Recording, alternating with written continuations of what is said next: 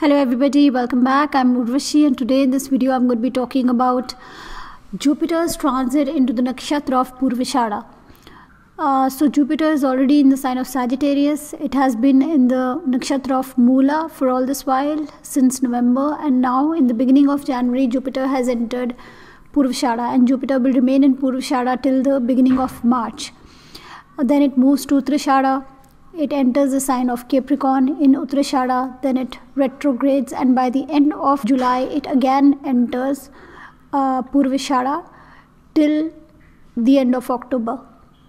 So, this is the transit I'm talking about. This is a good five months January, February, then the whole of August, the end of July, so the whole of August, September, and October. So, this is five months of Jupiter's transit in Purvashada. This is a very, very positive transit of Jupiter's uh, Jupiter is in its Mool Trikon sign in its own Rashi and uh, now Jupiter is in this you know nakshatra of Venus. Definitely um, you know Purvashada is a much more easier energy than Mula. In Mula sometimes we have to go and uh, correct mistakes, pull out things from our life that are not required, build foundations and in Purvashada, some kind of an achievement is there. A little bit, though it's not a complete achievement, but there is definitely sorting out of things.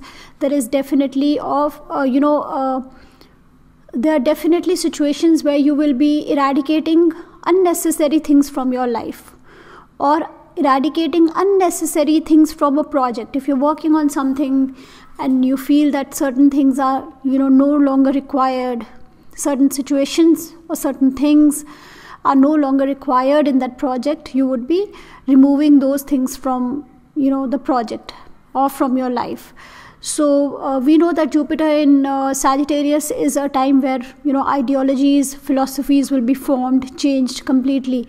So in Mula we had to dig deep down, go to the roots, go to the foundations, make a lot of changes. And in Purvashada we are going to be accomplishing some of those things. But even then we will be removing many of those things from our lives which are not required. It's a very optimistic nakshatra. It's a comfort loving nakshatra. It looks for comfort. It looks for you know victory status position and it looks to establish itself establish itself in a very positive way. So this is going to be a very very comfortable transit of jupiter. The only uh, negative side of this nakshatra is that sometimes it, there is a little bit too much of an overconfidence and we tend not to heed to advice so uh, Jupiter in uh, you know Sagittarius does show a lot of optimism, and all of us are going to be feeling very optimistic, especially in these five months when Jupiter is in Purvashada. So the optimism is going to be there. But many times in our optimism, we do not want to listen to advice that we get from others, and we tend to feel that we know the best. That is the energy of Purvashada.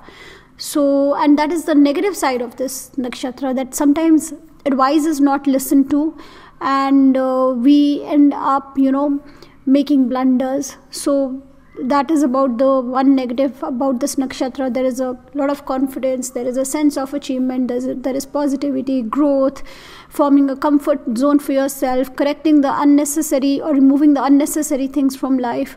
So all is positive uh, it's a much better time than having Jupiter in Mula.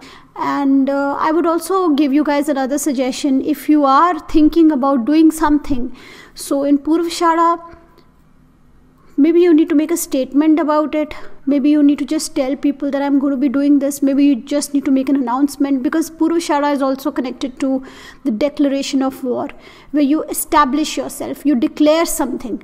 So once you've declared war, once you've made a statement about something, then the push is there behind you. You feel a pressure on you to achieve things, and this is the best time for achievement. With Saturn moving towards Capricorn, Jupiter in uh, you know Purvashada and Sagittarius. If ever we are to achieve something big in life, now is the time. So I feel that is the key to achievement. Once you've announced, once you've told everybody you're going to be doing something, then the pressure is on you, and you jolly well will have to go about at least making an effort for it. And since this nakshatra is, you know, also said to be a, like a declaration of war, I think it's the right time. Go ahead, declare things. Just tell everybody whatever your plans are, whatever your intentions are, and remove all that which does not stand by your plans, which is not required in your plans remove those negativities from life because this nakshatra is also one of the symbols of this nakshatra is the winnowing basket where we are supposed to remove the things from our life where, which are not required and uh, but that also can sometimes make us very judgmental about you know others.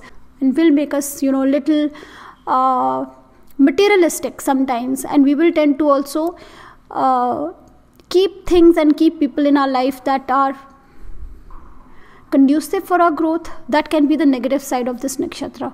That is another thing we need to be careful about. So being overly materialistic overly judgmental and uh, being uh, overly you know confident about our ideas these are the negatives. The positives are there is no end to what we can do at this point of time. The best way to do it is make a statement of it. Go tell everybody that you're going to be doing something. If you intend to for example be on youtube perfect time to start now and uh, just just tell everybody you're going to be doing this so that then there is that pressure on you and you're going to just go and you're going to have to do it no matter what. So something like that. So whatever's on your mind go go about you know putting it out there showing it there declaring it there and uh, go work for it.